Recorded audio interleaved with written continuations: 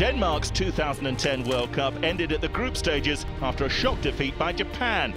Morten Olsen's side regrouped to embark on their quest for a second European title to add to their surprise win in 1992. They were joined in Group H by Cyprus, Iceland, Norway and Portugal. First up was a home match against Iceland, and Denmark picked up three points with a stoppage time winner from Thomas Kahlenberg in Copenhagen.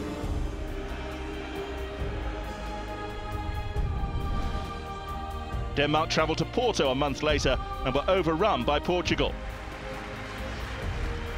The following week, Denmark played their 100th European qualifier, and they celebrated the milestone with a 2-0 win over Cyprus.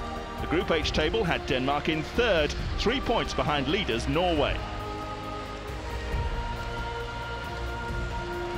Denmark next saw competitive action in March 2011 when they travelled to Oslo.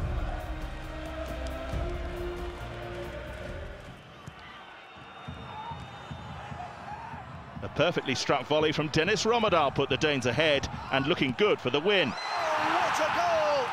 Dennis Rommedahl with a rocket!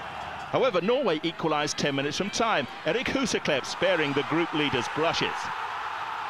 It was the first time in the campaign the Norwegians had dropped points. Just over two months later, the Danes had another chance to gain ground with a trip to Iceland.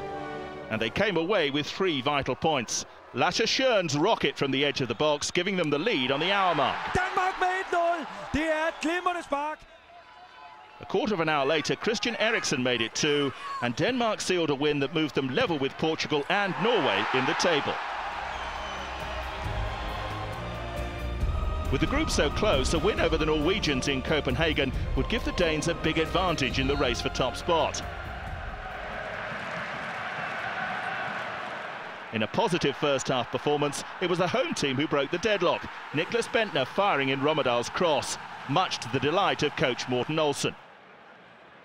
Bendtner capped a fine performance with his second just before half-time, sealing a crucial victory for Denmark.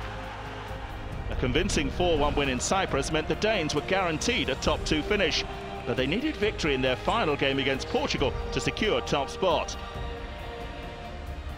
The two front runners met four days later, and a narrow home win confirmed Denmark's place in the Euro 2012 finals.